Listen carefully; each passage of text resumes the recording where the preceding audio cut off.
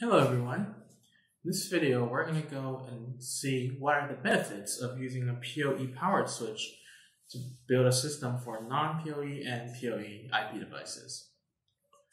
So we know that we can use many devices to set up a PoE network system, like a PoE switch, PoE injector, and PoE powered switch.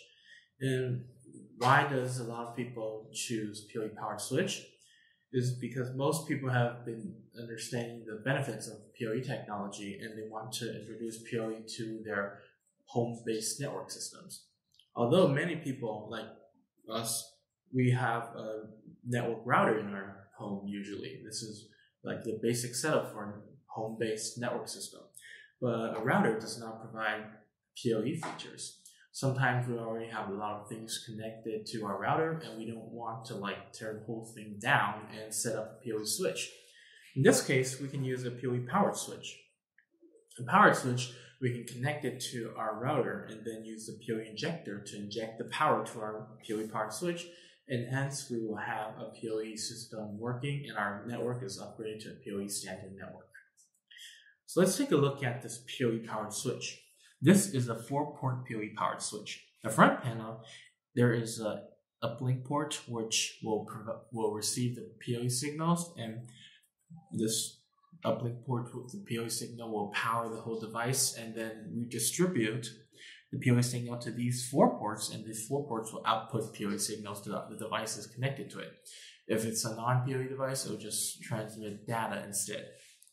And you can see there, and you can see on the side here, on the back here, there is a DC adapter port. If we need to use like a DC adapter instead of a PoE injector, it is okay as well.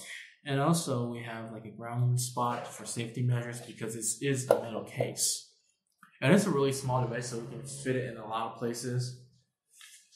And if four ports is not enough for the devices you wish to connect, we also have a, a seven port model. This one has a total of eight ports, and same as this one, it has one port, port number eight usually, for the uplink port, which receives the PoE signals, and all seven ports are suitable for connecting to IP, non-IP, non-PoE IP devices and PoE IP devices.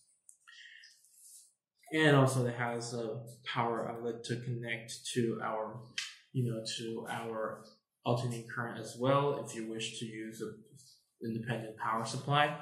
But usually we can just use PoE injector and it will inject PoE signals to the port. It will be more convenient sometimes because wherever we want to extend our network to, it might not have an alternating current right next there waiting for us. In that case, a PoE powering this thing up would be very convenient. And after, for these two models, we this one can reach the way to 1000 megabits per second and 30 watts per port maximum. Depends on the power budget. This one with four ports, it's all the same. And usually these two can all go another 100 meters with the IP devices connected to it. Now we've talked a lot about these PoE devices. Let's see how the basic setup is. So we have our Ethernet cables here and we're going to use a four port PoE power switch. So we have a router here, and we use an Ethernet cable to connect our router to our PoE injector. PoE injector it can usually be set, sitting next to the router because, well, it only provides power, but it doesn't need to be too far from our router. If our router has power, there will be a power outlet as well.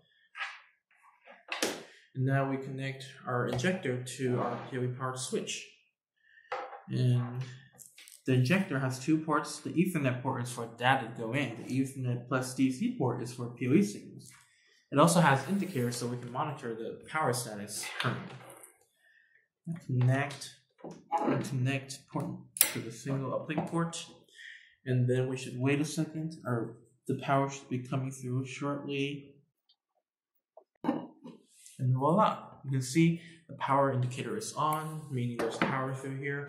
Now we're going to use another Ethernet cable. This can go all the way up to 100 meters, connect to any random four port, any port, and they'll connect to our IP camera. And you can see the blue indicator means there's power going through our IP camera currently. So our IP camera is receiving power and data at the same time. So now our connection is all set up. This means this connection is successful. Alright, that's pretty much it for this PoE powered switch. If you guys have any more questions, feel free to leave them at the section below. Thank you guys for watching. I'll see you guys next time. Goodbye.